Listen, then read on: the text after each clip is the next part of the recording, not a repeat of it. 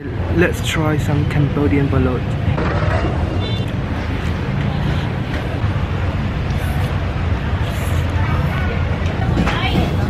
Actually, it costs 8 USD dollars. Very cheap. Quick check, can you hear the background noise? There is like a legit beer garden and an eatery with karaoke right across from my house. Literally what, like two minute walk. This is this is how the sound travels like through the neighborhood pretty much. Anyway, just a quick recap of my day. Today is probably the most street food packed day ever since I've arrived here like a week ago. I start off with a big noodles breakfast, a brunch, I would say because it, it happened at 11 a.m. Had a haircut. How do I look? It's a bit weird because my hair always stands up when, when it's really short. Like, you know, this one, it only cost me 3 USD dollars to get this. Amazing, right?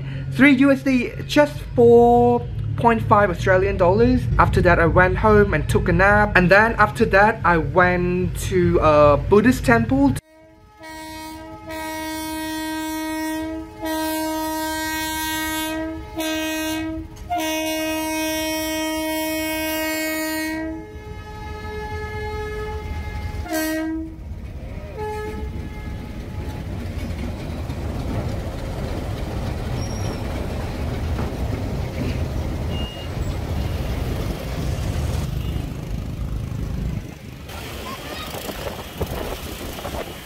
To ask for some blessing because you know in Cambodia if, if you go on a long journey um, in my culture in general you you go to the monk or you go to your parents for a blessing um, we call it Srautak. One of the easiest explanation that I could give you is that when a monk or your elders pour down some cold water from top of your head down to um, your toe it's supposed to wash all the bad luck and and the bad energy or the negativity away from you. So then when you go travel you only like you know meet all the positive energy and and get all the positivity all the bad luck will, will stay away. So that is the idea pretty much. So the background noise is so annoying. Since my parents are all in australia i am traveling through southeast asia right? After this i will stay in Bangkok for one night and then Singapore for another night.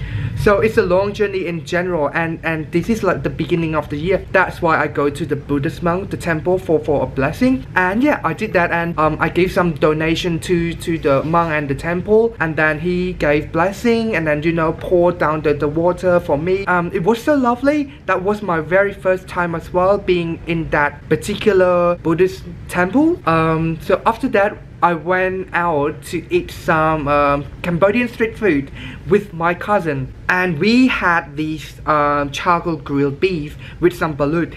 That is the number one street food in Cambodia. So if you ever been here, go and check it out. It's fantastic. Okay, we have some beef, heart and liver. Oh look at these. They look amazing. Like normally they serve with this cup and this food. And we eat it with this. Right?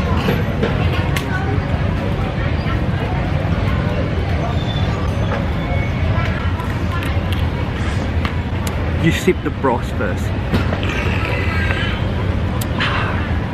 Mm. Yum.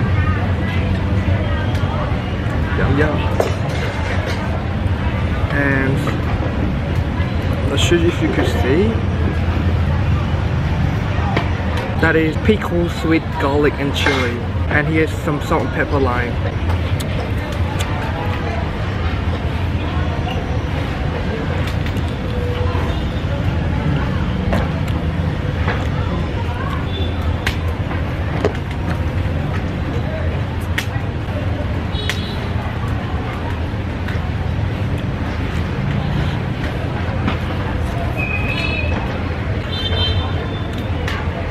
Good.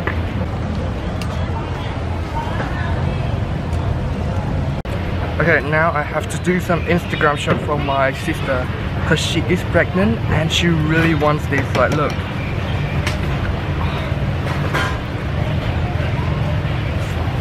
Mm, nice. So you eat it with the pickled papaya and cucumber and some sauce and some chili jam. With bread and Cambodian butter. Oh, look at this.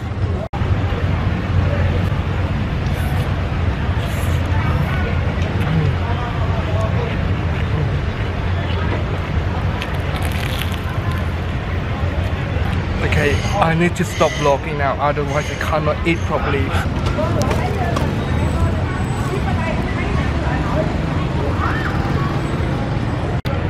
Guess what? We just finished the whole thing. I think we had 10 skews and 3 baluts. One piece of bread. And yeah, the leftover is for takeaway. But yeah, the whole thing cost 32,000 riel, which is under $10. I don't, I don't even know where it's at. Eight, actually it costs 8 USD dollars. Very cheap. So I went to the same place for years and years and years. It's maybe more than 20 years now. I remember like I was like 7 or 8 or something when I had my first, you know, um, food at their place. And the same family still operating the same business over there their beef skew was like this big but now it has this big. It used to be like 300 riel which is around oh it's like 10 cent US dollars less than that. And now it's 2500 riel which is around how much is that? 50 60 60 70 cent USD for one skew it's still very cheap. Um I, I love it so much. Same recipe same taste. And my um, my sister is pregnant at the moment and she was like bro takes a lot of photo takes a lot of videos so I can enjoy it um, through you. And I was like no I, have to complete my duty before I eat. So I did all of that. Um so after that I went to a cafe shop to catch up with my old friend. She was so busy. She worked at the bank right? And bank normally close at 5 in Cambodia. So after her work we had a chat for like about an hour or so. Um you know I gave her a gift she gave me gifts. So after that truly it was truly lovely to see her. She's doing really well for herself. And I come back home. I'm currently like nearly 6:30 p.m. I got to, I have to pack like casually packing because I'm leaving Cambodia in two days. Unbelievable. I wish I had more time. I normally I stay here like for a month or two weeks at the bare minimum.